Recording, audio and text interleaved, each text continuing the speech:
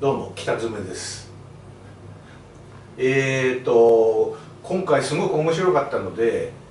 えー、その要因をちょっと考えてみたんですけど2つあったのね。でもちろんあの基礎力がいっぱいあるからみんなあの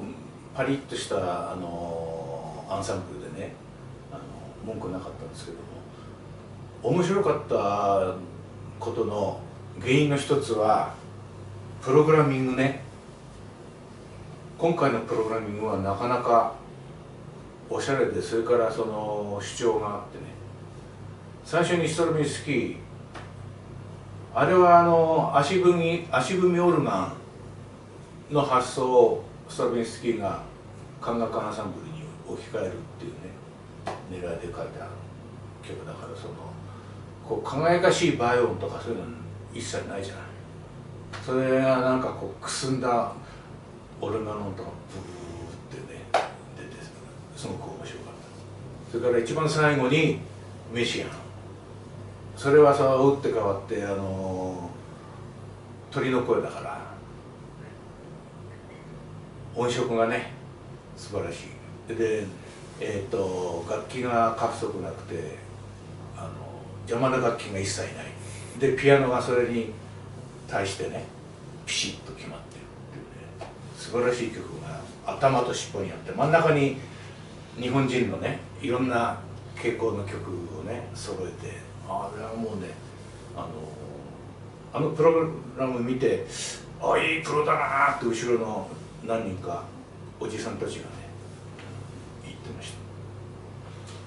それでそれが一つとそれから何と言ってもあれじゃないうん神田楽器アンサンブル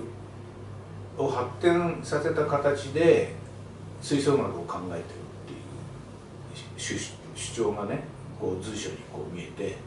まあ選曲含めてだけどね。だからそれがとってもあの共感があってっていうのはその10年前から浜松でやらせていただいてるバンド維新っていうのがあるけどあれとその考え方が重なる部分が随分多いのであのこれからはああいう形はとってもまだまだ探せば面白い作品いっぱいあると思うんですよね、うん、そういう視点で見ればね。その吹奏楽の固定した編成からこうちょっと脱出してあのー、広げる。広がりのある考え方でそれで柔軟に対処して選んでいく。そうするとまだいっぱいあると思うしその広広がることっていうのはつまり他の言葉で言えば可能性があるっていう言葉に置き換わるわけでね。まだまだもうねいっぱいこう可能性を持ってる皆さんのこう次のコンサートはどうなるんだろうって今から楽しみにしてます。で終わらないで僕の曲についてですね。僕のは今回はちょっとそのお三味線をソロにしてえーと、ウィンドのアンサンブルの方はどのぐらいちっちゃい音が作れるか普通に吹かないとどうなるかっていうビブラート普通かけてる楽器かけないとかねそういういろんなこう注文があるんですけどもえっ、ー、と元はその津軽三味線っていうものすごくノイズーなでそのすごくスピード感があるねあの楽器のイメージで書いたので今回中座でやったっていうのはねすごく実験性があって逆に面白かっ